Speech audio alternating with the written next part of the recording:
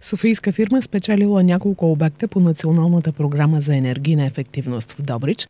Найема Северин Атанасов и неговата бригада от село Соколово през април. Надникът им е 135 лева на ден. Тогава нямахме никакви проблеми с него и ходили са, работили са на друго място и пак се върнаха при нас.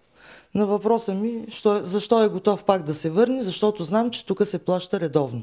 Това му бяха думите. На 26 юни работниците са наети отново. Всяка седмица имаме проблеми с тяхните плащания. Те искат да им се плаща и това, което не са извършили. Обръщане на дограма, където все още не е свалена старата метална дограма. На една от терасите вместо десятка, 10 см топлоизолация, стиропор, той е залепил 2 см.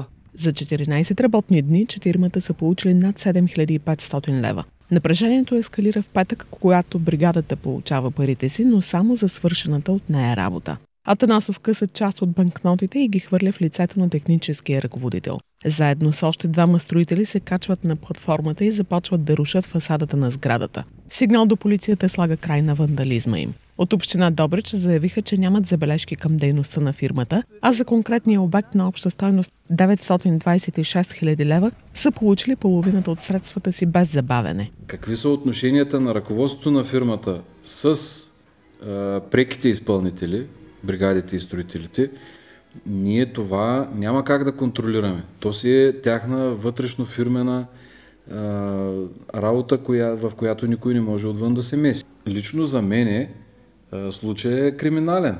Възстановяването на фасадата ще бъде за сметка на строителната фирма. Основният проблем и в този бранш си остава липсата на работна ръка. За 20-те жилищни сгради, които се санират едновременно в Добрич, са наети работници от Украина.